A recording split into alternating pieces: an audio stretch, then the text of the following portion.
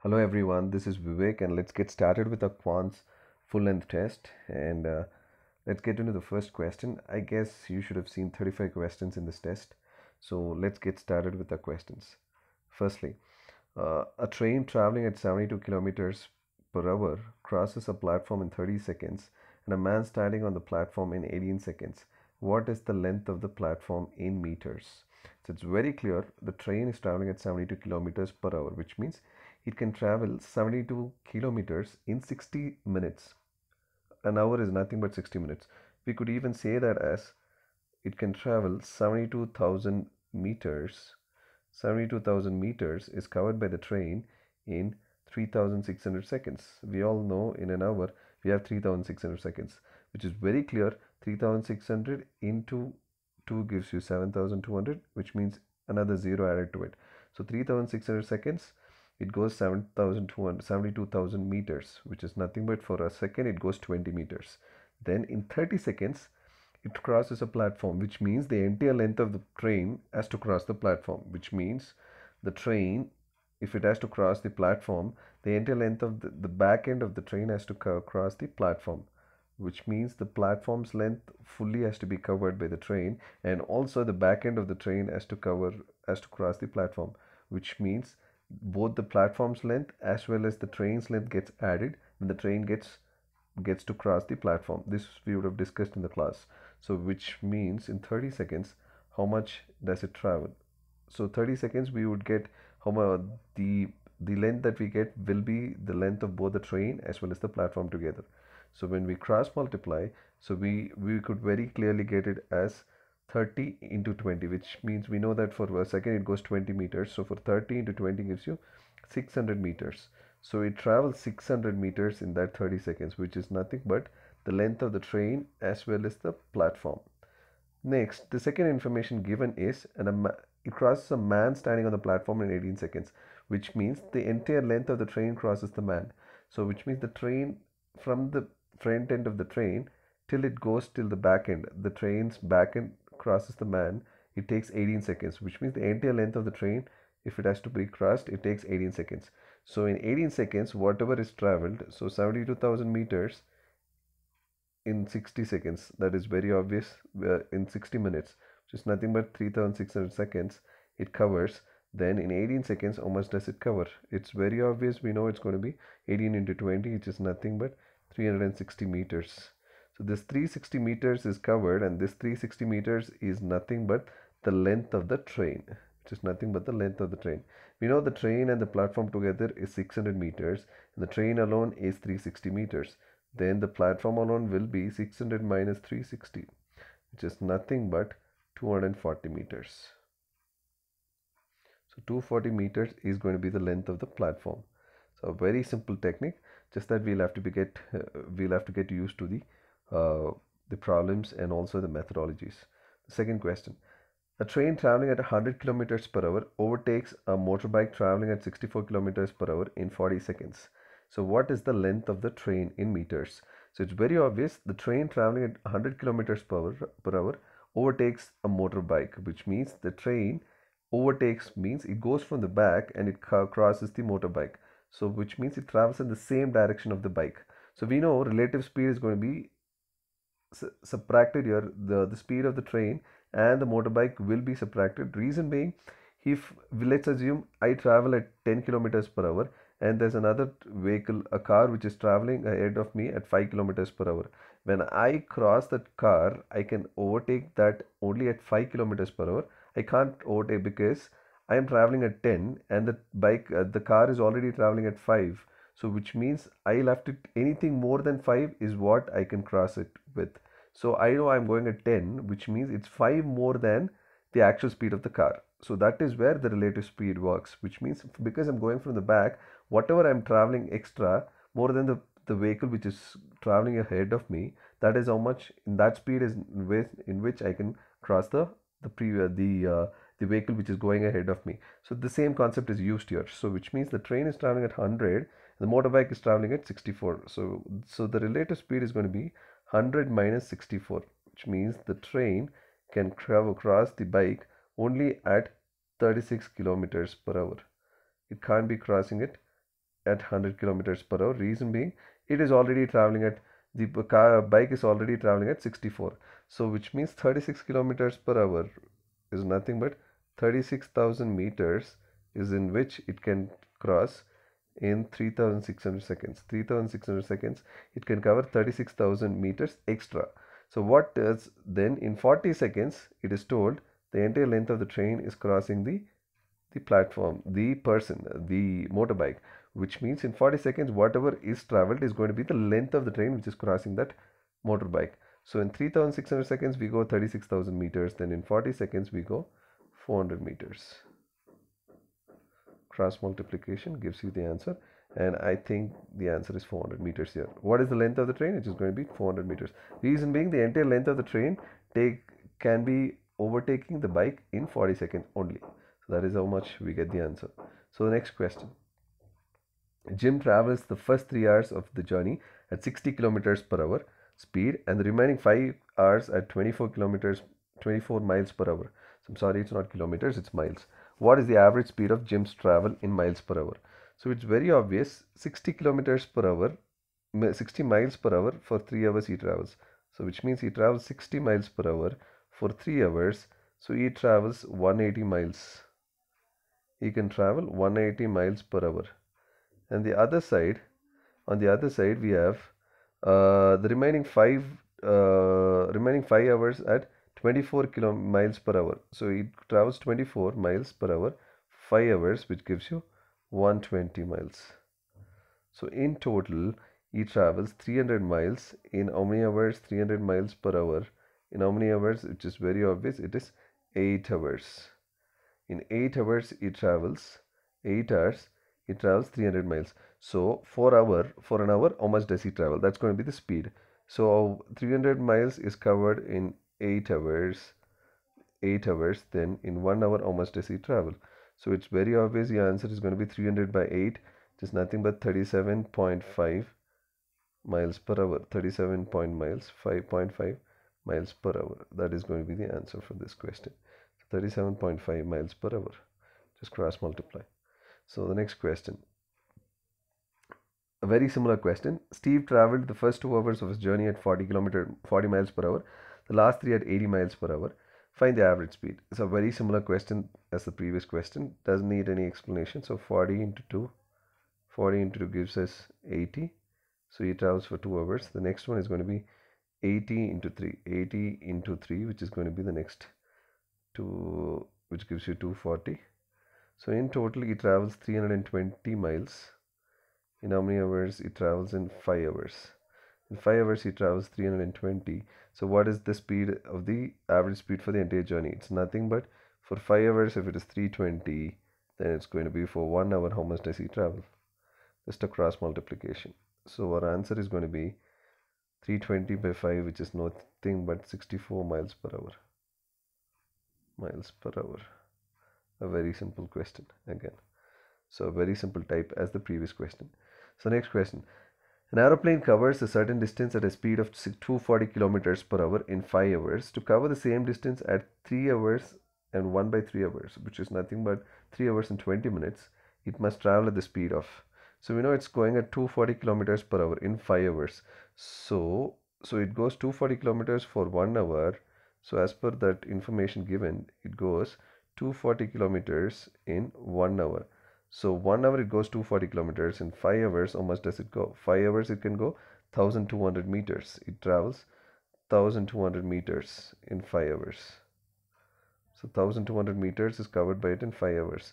So if it has to cover the same 1200 in 200 minutes, which is nothing but 3 1 by 3 is nothing but 200 minutes. So 1200 meters, uh, 1200 kilometers has to be covered in 200 meters in 200 uh, minutes.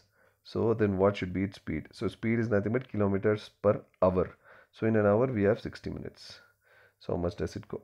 So just cross multiplication we know 200 into 6 gives you 1200 very similarly 60 into 6 can give us the answer. It's nothing but 360 kilometers per hour or just cross multiply. So your answer is going to be 360 kilometers per hour. So next one 60 percentage of a number is added to 60 to get the number itself. I'm sorry, there's two sixes there, which is a mistake. So 60 percentage of a number is added to 60. 60 percentage of a number is added to 60 to get the number itself. What is the number? So 60 percentage of a number is added to 60. So to get the number itself. So what is the number? So we know very clearly 60 percentage. Any number is going to be 100 percentage of itself. So if it is 100 percentage of itself, if 60 percentage of a number is added to some number to get 100 percentage of the number, then how much is added there? So we should very clearly understand that 40 percentage should be added there. Only if 40 percentage is added, we would get the number itself. So then 40 percentage of the number instead of 40 percentage of the number they have added 60 in that which means 40 percentage is nothing but 60 40 percentage is nothing but 60 then the number is going to be what? 100 percentage of the number. If 40 percentage is 60 then 100 percentage is how much. Just cross multiply. So our answer would be 60 into 100 divided by 40 so it's very clear with this you can get the answer as 150 or this could also be done the other way which is nothing but we do it we get the answer as 150 or this could also be done the other way that is uh, we could take it as uh, fractions. We know that 60 percentage is nothing but 3 by 5 so out of 5 parts 3 parts of the value 60 percentage of a number is added to 60 so 3 parts of the number is added to 60 which means so that you get the number itself. The number is nothing but 5 parts. So we know 3 parts is getting added to some parts to get 5 parts. So how much parts should be added to this? We know 2 parts should be added. Only then we'll get 5 parts of that number. So if 2 parts of the number instead of the 2 parts we added as 60 then if 2 parts is 60 we know 3 parts is going to be 2 parts is 60 is 1 part is 30 so then 3 parts is going to be 90 so 90 plus 60 is nothing but the 5 parts value which is 150 this can also be done this way. Any ways which we are comfortable with. So the next question uh, 30 people can finish your work in 25 days. If the number of days has to be reduced to 15, then by how much, how many percentage should the number of people doing the work should increase to? So how many percentage is the question? So let's see if 30 people can finish the work in 25 days. So if the number of days has to be reduced to 15, so 30 people can do it in 25 days. So if the number of days has to be reduced to 15, so we know it's going to be reduced to 15 so how many percentage of the number should be reduced? So we very clearly know the number of days has to be reduced. So the number of people doing the work should be increased. That is one method of doing it. So if it has to be reduced in this side it's reducing the other side it's increasing. So we know when one part of the value is getting reduced the other part is increasing. You should just directly multiply this. So our answer would be 30 into 25 divided by 15 so the number of people required to finish the work would be 50 people. 50 people are required to finish the work. But here, by how many percentage should the number of people doing the work should get increased? By how, many percentage is going to be nothing but uh, which is not which is going to be 20 people should be extra out of 30 which was already present the percentage is going to be 66.65 I guess the answer is not here. So the percentage is going to be 66.67 because 20 people have to be getting increased from 30 so 20 on 30 is nothing but 2 by 3 2 by 3 is nothing but 62.66.66 percentage. That is how much the percentage should get increased. If the total number of people is the question the answer is going to be 50 maybe the question is intended to ask the number of people instead of percentage. So the number of people is going to be increased to 50 so that we can get the answer as so the 50 people have to work to finish the work in 15 days. So if this can also be done in the other method that is uh, so if 25 to 15 the number of people from 30 people were use working so the number of people is reduced from 25 to 15 which means it's get, getting reduced by 10 it gets reduced by 10 on 25 from 25 it's getting reduced by 10 which is nothing but 2 by 5 is getting less we know if 2 by 5 gets less the other side that is the number of people it has to increase by 2 minus 5 which is nothing but 2 by 3 2 by 3 has to be increased. So if 2 by 3 has to be increased it is very obvious 2 by 3 of the total number total number of people which is 30 people. So the answer would be 20 people getting increased. 20 people increased. 20 people more which means 30 plus 20 which is nothing but 50 people. 50 people. If you put it as percentage we know 2 by 3 is nothing but 66.67 percentage which is not present in the option. The actual answer is 66.67 if it is for percentage if it is for total number of people it's going to be 50 so the next question. Product of two numbers is 720 if one of the number is increased by 20% then the other number should be reduced by what percentage to remain at the same product. So we know we would have already shared a video on this kind of problems that is we know the answer is going to be the right hand side is going to be constant. So product of two numbers is 720 one of the numbers is increased by 20 percent. So if it is 20 percentage we know 20 by 100 is nothing but 1 by 5 so one of the side is increased by 1 by 5 so if it is increased by 1 by 5 we know the other side will be reduced by 1 remains the same. 5 plus 1 gives you 6 so the other side gets reduced by 1 by 6. So 1 by 5 increases, 1 by 6 reduces. 1 by 6 is nothing but 1 by 6 into 100 gives you 16.67. So 16.67 percentage gets reduced. So number of by other number should be reduced by what percentage is the question. The answer is 16.67. A very simple question. You don't have to do anything more. Just have to do when there's so much increase, the other side there'll be so much decrease if the product is remaining constant. So the next question. A's total in examination is 40% more than B, then B's total is less than A's total by. This is a very similar question as the previous question. We know total of A is 40% more than B. So if it is 40% more than B, we know it's 40 by 100. 40 by 100 is nothing but 2 by 5. So if there is a 2 by 5 increase, there's a 2 by 5 increase in the total on one side the other side will be reduced by, we know the numerator remains the same. Denominator will be 5 plus 2, which is nothing but 7. Because it's increasing, we just adding. If that is saying that the A's total number is 40% less than B, we would have subtracted.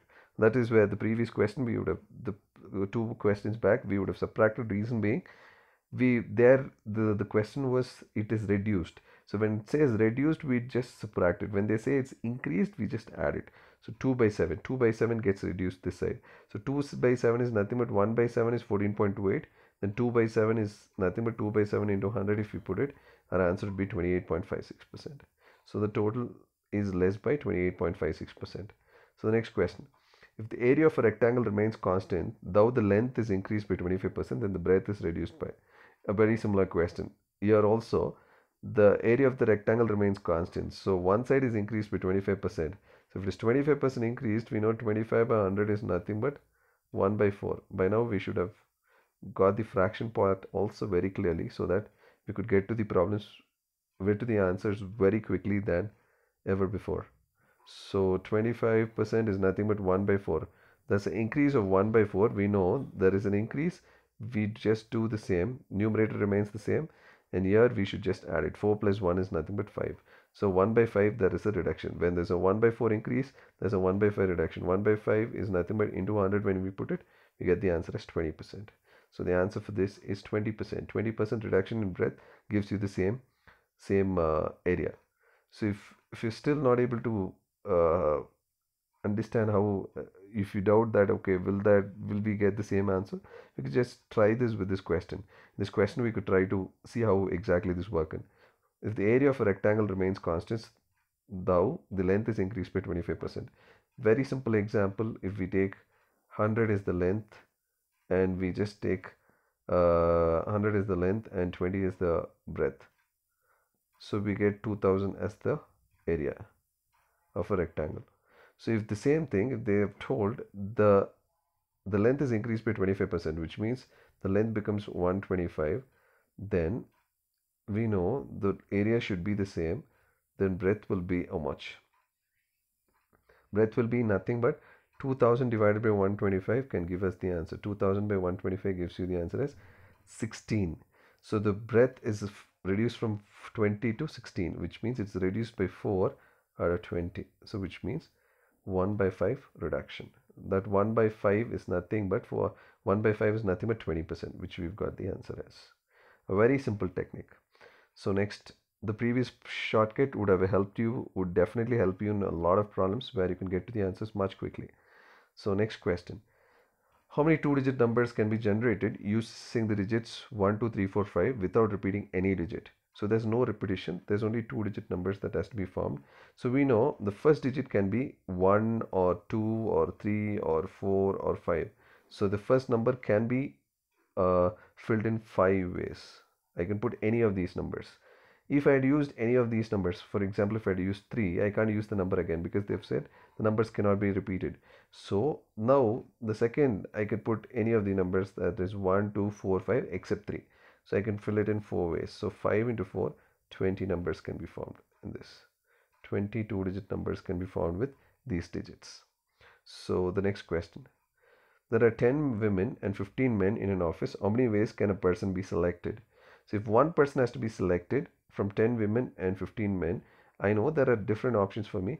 Uh, they've not mentioned women or men. It can be any gender. So I, I have how many options with me? So it's 10 for women and 20, 15 for men. So I have 25 options to pick from to get one man. Just add it. From to get one person, I'll have to choose it in 25 ways. I can have 25 different options because I can choose the first women or the second or the third or the fourth or fifth or sixth. Likewise, I could go up to 10 women. The same thing when it comes to men, I can choose any of them right from one or two or three or four 15 ways I can choose the men. So it's totally going to be 25 options with which I could get to the answer. So the answer is going to be 25, a simple technique. So next question. There are 10 women and 15 men in an office how many ways can a team of man and a woman can be selected? So a man and a woman are required in a team. So if for example we have 10 women. So if i take choose women one if i choose one woman the first woman for her to put a man i have 15 options because i can put man 1 or man 2 or man 3 or man 4 or man 5 or man 6 up to 15 so for one woman i have 15 options where I can take any of the 15 people, men, as a teammate. So for one woman, when I choose, I have 15 options in the men side. Similarly, if I choose the second woman, I have another 15 options. Because again, it's going to be man 1 or man 2 or man 3 or man 4, man 5 up to man 15. So women 3, if I choose again 15 man, women 4, it's 15 women 5 it's 15 so up to 10 women we have so for every woman i'll have 15 15 options so we have 10 women so your answer is going to be 15 into 10 which is nothing but 150 options. Similarly, if you even if we choose the man first, for one man I can choose 10 women. So similarly, for one man, if it's 10 women, so similarly, second man, third man, to 15 men. So 15 men have 10, 10 women as options. So we'll get 15 into 10, which is nothing but 150 options. A very simple question. Next one. How many three-digit numbers can be formed from 2, 3, 5, 6, 7, and 9, which is divisible by 5? None of the digits are repeated. So we know how many three digit numbers is going to be a question and we know the number should be divisible by 5. So if a number has to be divisible by 5, for example 25 or 30, it should end with 5 or 0. Here since we don't have 0 here, so the last digit can only be 5. So it can be filled only in one way. That is only 5 can be filled in that place. So the last digit has to be filled first because they are asking for divisible by 5. So it can be filled only in one way. So none of the digits is repeated, which means 5 is used already. We can't use 5 again. So the second digit can be 2 or 3 or 6 or 7 or 9. So it can be filled in. So the, the first digit first digit can be filled in 5 ways. Reason being the last digit is filled. The first and second doesn't have any conditions. So it's obvious 5 ways I can fill it. The second, so if I fill 9 as the first digit, for example, for the second digit, I still have 2, 3 or 6 or 7. So I have 4 options. So totally I have 5 into 4, that's 20 options here. So how many 5, uh, 2 to 3 digit numbers can be formed with 2, 3, 5, 6, 7, 9, which are divisible by 5, where none of the digits is repeated is nothing but 20. So it's 20 different numbers which can be formed. So let's get started with the next question. So our next question says, how many 4 digit numbers can be formed from the digits 1, 2, 3, 4, 5, 6 which are divisible by 4. So if a number has to be divisible by 4, the divisibility of 4 itself says the last two digits should be divisible by 4. So we need only 4 digit numbers. So we're going to take 1, 2, 3, 4, any of the numbers. So from the numbers, we know the last two digits should be divisible by 4. So we'll get the number as 12, is a possibility then we have 16 as a possibility then we have 24 as a possibility or probably what else do we have? Don't have 23 or 25 or 26 no that's no possibilities if it starts with 3 3 32 is a possibility. Starts with 3 another one is 36 is another possibility. Then we still have uh, if it is starting with 4 we don't have any of the 41 42 43 45 46 doesn't work out because none of the digits has to be repeated. So we can't use 44 here. So the next one is 5 it starts with 5 51 52 is a possibility. Then we still have 56 uh, is a possibility that is 56 is a possibility then we still have 64 as a possibility. So 64 as a possibility. So we have so many numbers as possibilities. Any other number that we've missed out i think 1 2 3 4 5 6 7 8 i don't think we've missed out anything. So we'll check. So if it is 12 which is used as the last two digits the first two digits can be filled in. Instead of 1 and 2 we can use it in four ways 3 or 4 or 5 6 so four ways can be filled. The first digit can be filled. Second digit can be filled in three ways. So totally 12 digits can be found with the last two digits as 12 similarly if it is 16 it's going to be again 16 1 or 6 can't be used. We can use 2 or 3 or 4 or 5 so the first digit can be filled in four ways. Second digit can be filled in three ways. So it's again going to be 12 similarly for each number we'll get 12 12 12 options. So we have eight sets of numbers. So the answer is going to be 12 into 8 which is nothing but 96 but 96 is not present in the option we have the option as none so the answer is going to be none so it cannot be 90 uh, any of them 192 160 204 is not a possibility. So the answer is going to be 96. So next question. Find the remainder for 1956 1955 into 19, 1956 into 1955 into 1954 divided by 19. So it's very clear here the number is going to be divided by 19.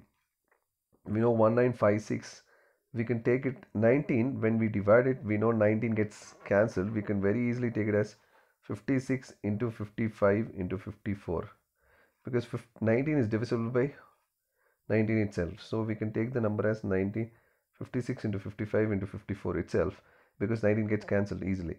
So when we divide 56 by 19 the option is going to be answer is going to be 18 is going to be the remainder here then we have 55 by 19 gives you 17 54 by 19 gives you 16 these are all the negative positive reminders that we get but with this we are not going anywhere because we'll have to multiply all the three numbers and we get the answer very late Instead, we take the negative reminders here. So 18 by 19, the remainder is going to be minus 1. Minus 1 is the negative reminder. 17 gives you minus 2 and 16 gives us minus 3. So minus 2, then we get minus 3. So if we take minus 3 as the negative remainder, so we get minus 1 into minus 2 into minus 3 gives you 2 minus 6. Minus 6 is a negative remainder. Minus 6 is a negative remainder.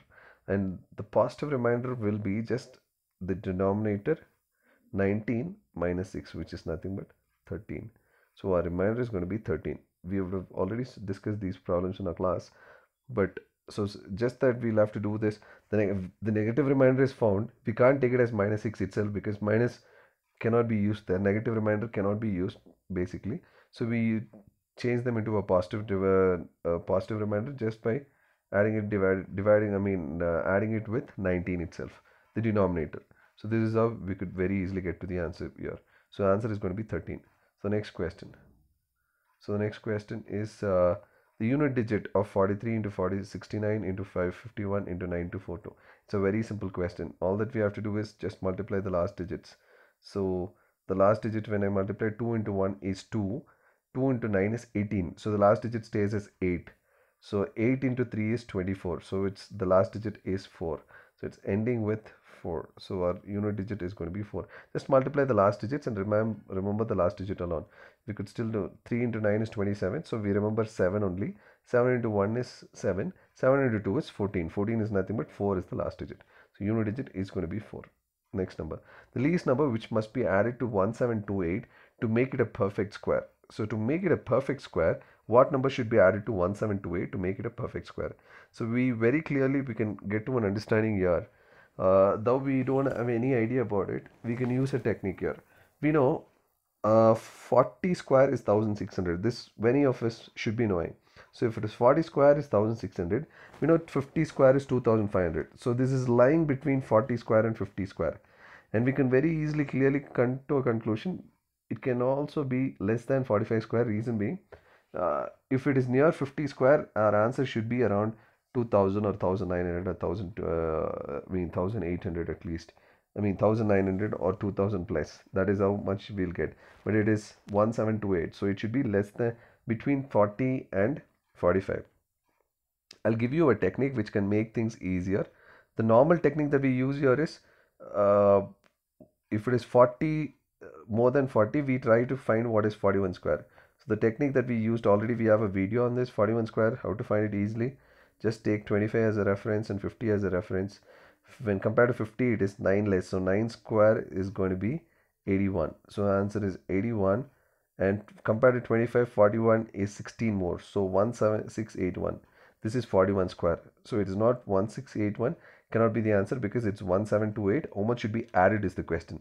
So it's not going to be 41 square. So what is next? 42 square. So 42 square is going to be again 8 less. So 8 square is 64 8 square is 64 compared to 25 it is uh, 17 more. So 1764 so the nearest number should be 1728 how much should be added to make it 1764 because the nearest square number. So it's very clear 1764 is a square number. How much should be added? Plus 2 gives you 30 again we have 34 so 34 plus 2 is going to be 36 so 36 should be added to make it a perfect square. It's a very simple technique we could also use for people who are saying that okay I don't know this technique how do I do it? So the best way of doing it is like everyone knows what is 40 square. 40 square is 1600 so we are not sure about the next square. All that we have to do is just add 40 the next number is going to be 41 so 40 plus 41 is going to be 81 so just add 81 to this. This gives you 1681 the next square number. The next thing what we have to do is the next square is going to be 1681 plus just 41 plus 42 41 plus 42 is the next number. That is this square then uh, this number and the next number. So 41 plus 42 gives you 83 83 uh, when you add it to 1681 we get the answer is 4 6 7 1 so 1764 there itself. A very simple technique. All that we have to do is if it is what is 6 square we are not sure. All that we have to do is we know 4 square. 4 square is nothing but 16 we know that. So if we're not sure about uh, I mean uh, we're not sure about 6 square if we know 5 square 5 square is 25 all that we have to do is 5 plus the next number is 6 5 plus 6 is 11 25 plus 11 gives you 36 a very simple technique. This number and the next number. If it is 9 square all that you have to do is you should know 8 square. 8 square is 64 64 plus 8 plus 9 8 plus 9 is nothing but 17 64 plus 17 is 81 a very simple technique that gives you the answer. So answer is 1764. 36. Which of the following cannot be the number of zeros at the end of a factorial? A very important question. Many may not have an understanding over this. Why do we have zeros at the end of a factorial? So when do a factorial get a zero? We know if it is 2 factorial, our answer is going to be 2 into 1. If it is 3 factorial, it's 3 into 2 into 1. If it is 4 factorial, it's going to be 4 into 3 into 2 into 1. So it's very obvious, it's just a multiplication. So why do we get this 0 question here is because the minute if a 0 has to be created, a 5 has to be multiplied by 2 so that we get a 0. See, we get 10. Or we multiply it by any even number, we get a 0. That's 20. 5 into 6 gives you 30. So which all that we have to do is 5 into any even number. 5 into 8 gives you 40. So we have a 5 and a even number gives you a 0. So if that is the case, which cannot be, which of the following cannot be the number of zeros at the end of a factorial? So we know if 1 5 multiplies with one even number, we get 1 0. Similarly, if there are two 5s, for example, 25 into 4, 25 into 4 gives us 100. This gives you two zeros. So a factorial, for example, from 5 factorial, 4 factorial is 24, then 5 factorial on we start getting zeros. That is 5 factorial is nothing but 5 into 4 into 3 into 2 into 1 because we have a 5 there and we have a lot of even numbers there. 1 5 is present we get 1 0 120. We get 6 factorial we get 720 we get only 1 0 here. Reason being it is 6 into 5 into 4 into 3 into 2 into 1. There are a lot of even numbers that is 4 as 2 e- 2 as is an even number 4 is an even number 6 is an even number. Though we have too many even numbers. We have only one 5 there. That's why we get 1 0 that's 720 so similarly if it is 7 factorial is going to be 5040 1 zeros 7 factorial gives you 5040 which is only 1 0 we're only talking about the last zero. So 50140 gives you only 1 0 8 factorial gives you 1 0 only the next time when we get 2 0 it's going to be 10 factorial. Reason being 10 factorial is nothing but 10 factorial is nothing but no we don't get uh, i mean two zeros here. Uh, we still get one zero only until we get 25 i mean we get uh, 10 factorial. What we do here is 10 factorial is nothing but 5 into 2 which is nothing but 10 so 10 factorial is nothing but 10 into 9 into 8 into 7 into 6 into 5 into 4 into 7 into 6 into 5 into 4 into 3 into 2 into 1 we very clearly know here that a number of 5s are going to be very simple here. The number of 5s are going to be 2 5s here. That is a 5 here in 10 we have 5 into 2 so that's 2 5s here. So we get 2 zeros. So if it is 10 factorial we get 2 zeros. Reason being there are 2 5s there. If we get 15 factorial we get 3 zeros. Reason being it's going to be 15 is going to be 5 into 3 10 is going to be 5 into 2 5 is going to be 5 into 1 so obviously we have 3 5s so we get 3 zeros. Similarly this is how the pattern works. That is the case. The question is which of the following cannot be the number of zeros at the end of a factorial? So we know 15 factorial is giving you 3 zeros. 20 factorial gives you 4 zeros. Then 20 factorial plus gives you 4 zeros. The minute we get 25 factorial what happens there is 25 factorial is nothing but 25 factorial is nothing but 25 is itself 25 factorial itself will give you 5 into 5 then the next 5 we'll get it is 20 factorial 20 factorial is 5 into 4 and uh, 15 factorial is 5 into 3 uh, 10 factorial is 5 into 2 and 5 factorial is 5 into 1 so these are where we'll get the 5s from. So if that is the case we'll get in 25 factorial we will since we have two 5s there 5 into 5 there's two 5s in 20 factorial we get 1 5 15 we get 1 in 10 we get 1 and 5 we get 1 we totally get 6 fact 6 5s there and we have a lot of even numbers to give us zeros. So we get 6 5s will give you 6 zeros. We don't get 5 zeros at all. Reason being 25 factorial is giving you 2 5s because of which we get 2 6 eh, from 4 we are jumping on to 6 zeros. We don't get on to 5 zeros. So the answer is here going to be which cannot be the end of a factorial which cannot be 5 zeros cannot be at the end of a factorial. It can be only 6 or 4 or 3 or 2 that's how it works. It doesn't work as 5 you don't get 5s there. So the next question. A bag contains 50 pies 25 pies 10 pies coins in the ratio 5 is to 9 is to 4 amounting to rupees 206 find the number of coins of each type. So it's very clear here. The bag is having 50 pies 25 pies 10 pies coins and is in the ratio 5 is to 9 is to 4 so we don't know the number of coins here. So we take it as 5x is to 9x is to 4x and it's very clear uh, 50 pies coins 5 50 pies coins. So we get 5 into 50 pies coins in x plus 9 into uh, 25 pies coins into x plus 10, uh, 4 into 10 pies coins into x. Uh, so which gives you 2, 2.50 plus 2.25 plus uh, 40 pies. So which very clearly gives you 5.15 x. So 5.15 x, x is nothing but the number of coins we are not sure is equal to 206 we don't know what is the number of x we have.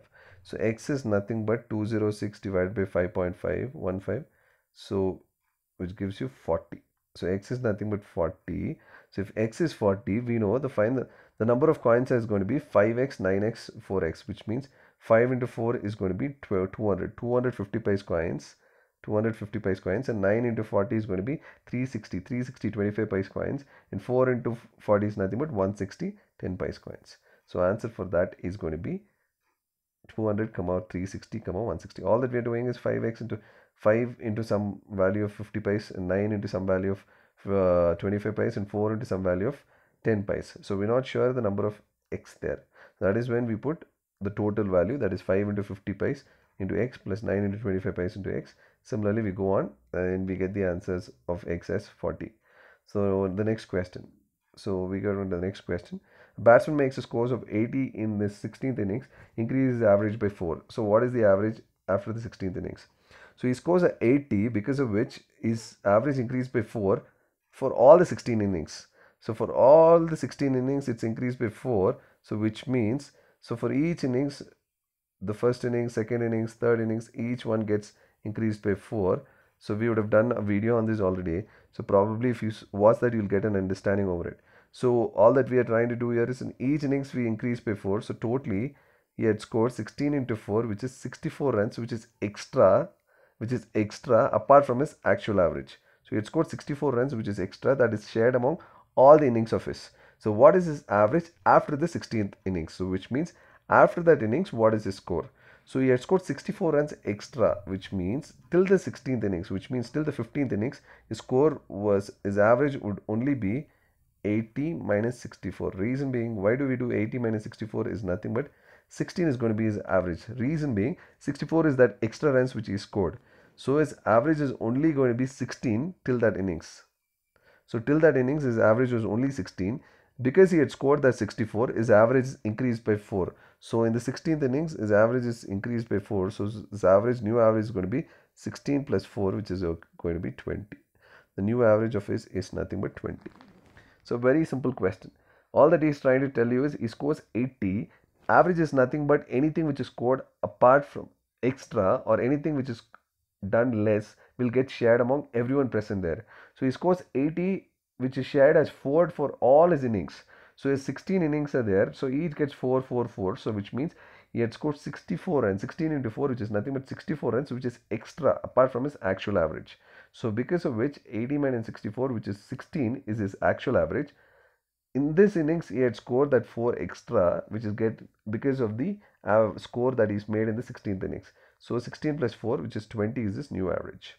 So next question.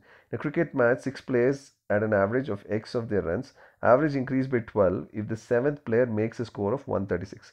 Similarly, here also, if he scores 136 runs for each player, for all the seven player, it's getting increased by 12. So which means he had scored how much extra? 7 into 12, 84 extra from his actual. So if he scores 84 extra, his actual would have been, that is 136 minus 84 was his actual average. Because if he had scored, if he, uh, the average is going to be what? 52. If he had scored 52 itself, his average would have stayed at 52 itself. Now because he had scored 136, his runs is getting, anything that he scored extra is getting is getting divided equally among all the innings of his. So 84 he had scored, so is it's getting divided among all the seven players. That is all the uh, players who are present there. So if it is going to be 84 he scores extra that's divided among dividing among all the seven players so that's why the average gets increased by 12 so what is his average of the first six players so first six players is going to be only 52 and the seventh player gets added only then the average becomes 64 reason being he gets 12 extra average. So the answer is going to be 52 for the first uh, six players. So the next question uh, Next question is Rahul is 15 years elder than Rohan. If 5 years ago Rahul was 3 times as old as Rohan so Rahul is uh, 15 years elder than Rohan.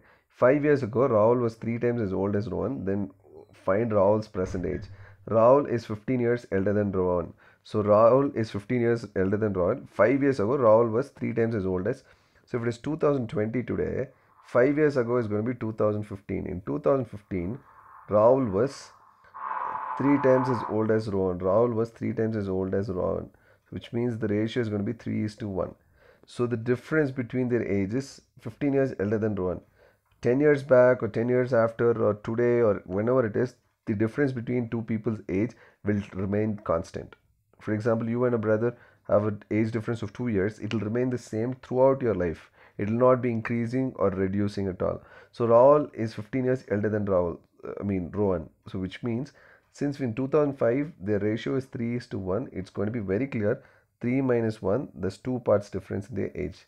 The 2 parts is nothing but 15 years, which is very clearly given in this question. Difference in the age is 15 years. then one part is going to be 7.5 years. Then one part is 7.5 years. So if one part is 7.5 years, then what is Rahul's present age is the question. So we know one part is 7.5 years, then 2015 Rohan would have been 7.5 because his one part is his age and Rahul would have been 3 into 7.5 is nothing but 22.5 that would have been Rahul's age in 2015 then what is present age of Rahul Rahul today would have been 5 years more than that so his age would be 27.5 years 27.5 years plus 5 is his present age so it's 27.5 and Rohan would have been plus 5 which is 12.5 which is Rohan's age. So Rahul is 27.5 and Rohan is 12.5. That is how simple is this question. So the next question. One year ago the ratio of Harry, Harry and Peter's age was 5 to 6. So very similar question. One year ago it's 2019. 2019 their ages were in the ratio 5 is to 6 and respectively after 9 years after 9 years means 2000 from today it's 10 year 9 years later which means 2029 from today. It is not about last year, it's from today, it's after 9 years, the ratio is 7 is to 8. So, which is 7 is to 8. So, how old is Peter? And it's very clear here from 5 parts it's gone to 7 parts, which is 2 parts more, and from 6 parts it's gone to 8 parts, which is again 2 parts more. So, it's very clear here, it's very clear here, both of them have the same difference here, that is both of them that is two parts is getting increased here and two parts is also getting increased here. So that two parts is nothing but two parts is nothing but uh, it's very clear in this question. Two parts is nothing but 10 years 2019 to 2029 which is nothing but two parts is 10 years if it is two parts is 10 years then one part is going to be 5 years then one part is going to be 5 years so one part is 5 years means how old is Peter is their question so Peter's 2019's age was this is Harry and this is Peter. So Peter's 2019 age was 6 parts. So one part is 5 years. Peter would have been 6 into 5 which is 30 in 2019 and 2020 is 30 plus 1 which is 31 years. So 31 years is the age of Peter at the uh, in 2020. How old is Peter today? So the answer is 31. So Shar Sharath is 50 years old and Santosh is 80 years old. How many years ago was the ratio 3 is to 6? So it is 50 80. So their ratio is Sharath is to uh, Santosh, which is nothing but 5 is to 8. So 5 is to 8 today, 2020. So how many years back they were 3 is to 6. 3 is to 6 is nothing but 2 parts lesser. So 2 parts lesser is 3 parts 3 is to 6. So it's from this very clearly which we can say they've also told Sharath is 50 years old and Santosh is 80 years old. So if it is 50 80 and if the ratio is 5 to 8, how many years back the ratio was 3 is to 6. So if this 50 80, we can very easily say the ratio would have been 3 is to 6. That is 30 60 is when they would have got that ratio 3 is to 6. So it is going to be exactly 20 years back. So 20 years back they would have got the ratio as 3 is to 6. Nothing but 30 is to 60 very clear with this question itself. We can very easily get to the answer. Need not even think about it because it's 5 is to 8. From 3 is to 6, it has gone to 5 is to 8, which means 2 parts gets increased. So 2 parts gets increased very clearly. Then from there, we can very easily take it as 20, 50, 80 is their present age means. Then 2 parts is, 5 parts is 50, then 8 parts is 80. Then if it's 3 parts is going to be 30 and 6 parts is going to be 60. It's it's very obvious it's before 20 years. So the next question. A motorboat whose speed is 15 kilometers per hour in still water goes 30 kilometers downstream and comes back in four and a half hours. Uh, four and a half, uh, four hours and 30 minutes. The speed of the stream is. We'll come back to question number 26 at the end because it takes some time. We'll get on to the next questions and we'll get to this question at the last. So the next question is in one hour a boat goes at 14 kilometers per hour along the stream 8 kilometers against the stream. The speed of the boat in still water is is their question. So the speed of the boat in still water along the stream that is downstream is 14 and they've clearly given upstream upstream speed against the stream is upstream is 8 and their question is speed of the boat in still water. Still water is still water we know very clearly. Still water is going to be the average of both of them. So we know 14 some from still water something is added here that gives you downstream. And from still water something is subtracted gives you upstream. So the same value the stream value is going to be the same in both of them. So we can very easily say it's the average. So average is going to be nothing but 14 8 the average of both of them is going to be 22 by 2 it's nothing but 11 so your answer is going to be still water is 11 kilometers per hour Next question. A man rows to a place 48 km distant, comes back in 14 hours. He finds that he can row 4 kilometers with the stream in the same time as 3 kilometers against the stream. So it's very clear the rate here they've given the speed is in the ratio 4 is to 3 if speed is in the ratio because it goes at the same speed 4 kilometers he takes if it takes 1 hour he takes the same 1 hour for 3 kilometers which means it is very clear for 4 kilometer per hour 3 kilometer per hour. 4 is to 3 is their speed ratio. Then time is going to be the inverse of it 3 is to 4 so the total time is going to be 3 is to 4 which is nothing but 7 parts. The 7 parts in this question they have taken how many hours there? 14 hours. 14 hours to do the job so the 7 parts is 14 hours, then one part is going to be 2 hours. One part is going to be three, 2 hours. Their question now is the rate of the stream is. So we know in this they have given you the time taken is in the ratio 3 is to 4. So 3 is to 4 is nothing but for downstream and upstream. For downstream it takes 3 hours. 3 hours is nothing but 3 into 2 which is 6 hours. 6 hours is taken by for downstream and this is for downstream and for upstream it takes 8 hours. The rate of the stream is the question. So he goes 6 hours if he goes 48 kilometers downstream then the speed of downstream is going to be 48 by 6 which is nothing but 8 kilometers per hour. This is downstream. Downstream is 8 kilometers per hour. Upstream is going to be the same. He goes at he goes at uh, 48 kilometers at 8 hours which is nothing but 6 kilometers per hour. So downstream speed is 8 upstream speed is 6 then still water speed is going to be 7 very simple because it's the average. 8 plus 6 divided by 2 or else we could say the mid value so it's 7 so then the speed of the stream is going to be whatever is added gets subtracted the other side. So still water plus 1 7 plus 1 gives you 8 or else 7 minus 1 gives you 6 so 1 is going to be the speed of the stream. Rate of the stream is 7 so rate of the stream is 1 a very simple question. And I'll tell you here very clearly they've given you speed ratio 4 is to 3. Then the time taken will be in the ratio inverse or the ulta of it 3 is to 4. So we take 7 parts of the time. Totally we take 3 plus 4 7 parts of the time to go down and come back. So the 7 parts is totally given as 14 hours. So if 7 parts is 14 hours then 1 part value is going to be 2 hours the 2 hours is nothing but one part. Then we know downstream it takes 3 parts which is 6 hours. Upstream it takes 4 parts which is 8 hours. Then 8 hours downstream say 6 hours downstream for 48 kilometers gives you 8 kilometers per hour should be the speed of the downstream should be downstream speed. And upstream speed will be 6 kilometers per hour because it takes 8 hours for 48 kilometers. So if it is downstream 8 and upstream is 6 then still water is going to be 7 speed of the stream it's speed of the boat at the still water is 7 so we know then 1 kilometers per hour is going to be the stream speed. So the next question. The boat goes 2 kilometers against the stream of the against the current of the stream in 2 hours and 1 kilometer along the current of the stream in 20 minutes. So then downstream speed is going to be how much? Upstream speed is going to be. My boat goes 2 kilometers against the current of the stream which means upstream 2 kilometers in 2 hours. So upstream speed is going to be 1 kilometer per hour because 2 kilometers in 2 hours gives you 1 kilometer for 1 hour. And along the stream in 1 kilometer in 20 minutes. For 1 20 minutes it goes 1 kilometer. Then for 60 minutes 1 kilometer for 20 minutes. Then for 60 minutes how much does it go. That is going to be the downstream speed. It's going to be very simple. Just cross multiplication. It's 3 kilometers per hour. Downstream is 3 kilometers per hour.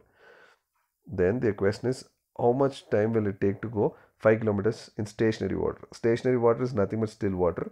If downstream is 3 and upstream is 1, then we know still water is going to be the average, which is 2 kilometers per hour. It's 2 kilometers per hour, 2 kilometers is traveled by it in 1 hour, 1 hour, then the question is 5 kilometers is how long? Cross multiply, its answer is 2.5 hours. Just nothing but 2 hours and 30 minutes. So the next question. Find the ratio in which the rice at 7.20 per kg be mixed with 5.70 per kg to get the value as for 6.30. So it's very simple with the alligation technique. 5 7.20 5.70 what ratio they both have to be added. It's very clear here. The answer is 0.90 here and 0.60 here. So ratio is 2 is to 3. 60 is to 90 is nothing but 2 is to 3. This ratio in, is which in which most of, most of you should be knowing this answer. So the next one, tickets numbered from 1 to 20 are mixed up. Then a ticket is drawn at random. What is the probability that the ticket drawn as a number is a multiple of 20? So we have 20 options here, 20 options. The total sample space is 20 and should be a multiple of 3. So we have 3 or 6 or 9 or 12 or 15 or 18. Any of the numbers can be picked.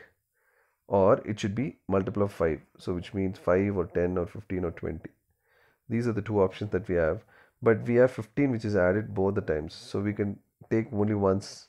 If we take it once we get it as 1 2 3 4 5 6 and we need not count it here. So we have 5 10 15, 20 so there's three options here. So totally we have 9 out of 20 options to get. The answer as multiple of 3 or multiple of 5 so multiple of 3 is 6 options. Multiple of uh, uh, 5 is 4 options. Because we have 15 repeated both both the side we are taking it into account only once. So we get it as 9 out of 20 that's the answer. So the next question total sample space is 20 tickets. So a bag has two red three green and two blue balls. Two balls are drawn at random. What is the probability? None of the balls drawn is blue. So none of the balls should be blue. So if it should not be blue it should not be blue then we have i'm taking this to make things simple for me. I take red and green balls as other color balls so I'll get the options as other color or blue color only. So if that is going to be the case, other color is going to be 5, 5 balls and blue color is going to be 2 balls. So the question is none of the balls should be uh, blue color. So I'm choosing 2 balls. So it should be both are going to be other color, other color balls. So which means the how many ways can I do that is other color is going to be 5 out of total number of balls is 7 into 4 into 6 balls very simple technique. So 5 into 7 into 4 into 6 so it's very clearly giving you the answer as 20 by 42 which is nothing but 10 by 21 very simple technique. So the next question. What is the probability of getting the sum as 9 when 3 dice are thrown? So for 3 dice we would have used this technique and I would have taught you about 3 4 5 taking that drawing this here takes a lot of time. I don't want to do that. Instead I would very easily tell you getting the sum as 9 with that technique is very simple and I know the answer is 25 by 216 very easily we can do it with that technique. Or else we can take sample spaces each one and we can take the answer that is for for three dice we can get the answer as 1 comma 4 comma 5 so 1 comma 4 comma 5 can arrange themselves in three numbers so three factorial ways they can arrange. That is one way. Then we still have 1 1 comma 4 comma 4 i'm sorry 1 comma 4 comma 4 this can be arranged as 3 factorial divided by 2 factorial which is nothing but three ways. That is 1 comma 4 comma 4 or 4 comma 1 comma 4 or 4 comma 4 comma 1 so it can be arranged in three ways. That is the technique. Then we have 2 comma 3 comma 4 2 comma 3 comma 4 can be arranged in three factorial ways. That is six ways. That is six ways we can fill them. So this can be done in six ways. We could still do it as 4 comma 4 uh, 2 comma 3 comma 4 then we can do it as 3 comma 3 comma 3 3 comma 3 comma 3 this can be filled only in one way that is 3 comma 3 comma 3 then we can still do it as 6 comma 2 comma 1 we can do it as 6 comma 2 comma 1 6 comma 2 comma 1 can be filled in three factorial ways. Again 6 and so on. When we start doing it as this way it takes a long time and end of it we'll get to the answer as 25 by 216 instead the technique that we used in the class can help you solve this question easily. So try doing those questions. So the next question is next question next one is the total age of a and b is 12 years more than the age of b and c. Uh, then c is how many years younger than a? So it's very easy in this question. Total age of a plus b is 12 years. A plus b is total age of 12 a plus b is 12 more than the age of b plus c. So b plus 12 more than b plus c. So which means a plus b is equal to b plus c plus 12 so we know when we subtract, we would very easily get these two gets cancelled. So A is nothing but C plus 12, very clearly given here. So then the question is how many, C is how many years younger than A. So it's very clear C is 12 years younger than A, reason being a is equal to c plus 12 so c has to be added with 12 c's age should be added with 12 to get a. So c is 12 years younger than a. That's your answer. The next question the sum of the present ages of father and his son is 60 years. 5 years ago father's age was 4 times as old as the son. So now son's age will be. So 60 years present father plus son is 60 years. Today 5 years ago 5 years ago is 2015 4 15 father is 4 times as old as son. So 4 times as old as son. So 4 is to 1 so we 5 years back father would have been 5 years lesser and son would have been 5 years lesser so in total their age would be reduced by 10 because we are talking about total age here sum sum is nothing but 60 so in total their age before 5 years would have been 5 years less for the son and 5 years less for the uh, father so 60 minus 10 is nothing but 50 would have been their total age. So total age is 50 if the that was before 5 years. So totally we know father would have been 4 times that age then 4 plus 1 is nothing but 5 parts. So 5 parts age is 50. This is before 5 years. So then 1 part value is going to be 10. So the father would have been 40 years back then and son would have been 10 years back then. So the question now is, so now the son's age is. So son today would have been 2020 would have been 10 plus 5 which is 15 years. That is son's age. Reason being of the question which is given there. Very simple question. Father plus son today is 60. So before 5 years both would have been 5 years lesser. So which means the total age would have been minus 5 minus 5 which is nothing but 50 years. 50 years is their present age. I mean their age before 5 years back before 5 years the ratio of their age is 4 is to 1 so which means totally 5 parts 5 parts is 50 years then 5 parts is 50 years then 1 part is 10 years so 1 part is 10 years then 4 parts is the father's age which is 40 years and son's age is 1 part which is 10 years.